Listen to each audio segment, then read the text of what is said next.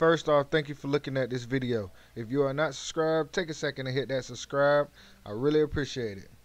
What we're talking about today is Kye Kelly from Street Outlaws New Orleans is trying to upgrade to a steel roof, steel quarter panel car. He is going to get away from this old shocker and go to this. Yes, a newer Camaro. He says that he wants to call Chief back out. Chief said he tired of racing pro mods, so he's decided to make him a steel car to go head up with Chief. He says he's pretty sure he's gonna be back up top and he's gonna beat him with this.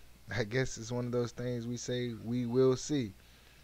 Um, he says that he's changed the uh, wheelbase only by 0.3.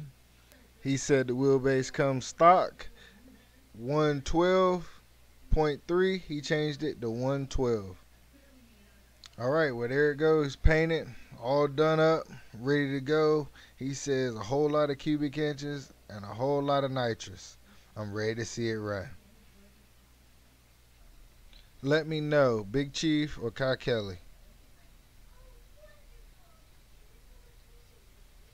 Who you think gonna take the win next time they line them up?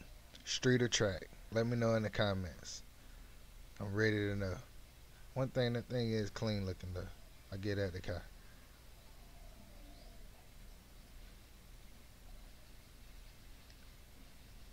Don't forget to subscribe. It's that yellow car.